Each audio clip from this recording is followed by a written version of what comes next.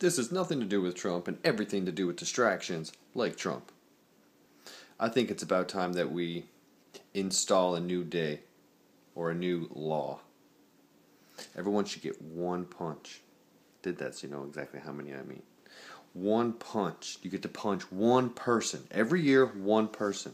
Could be anybody. For me, I'd go on to Young Turks. Line them up like dynamos. Just one big slap. Whap, whap, whap, whap, whap, whap, whap. Big running slap like a bicycle kick from Liu Kang.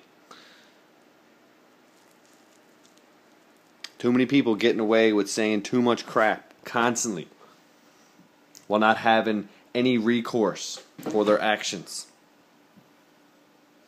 Karma and causation. It's like you put them in a bottle and mix them up and then put them in the fridge.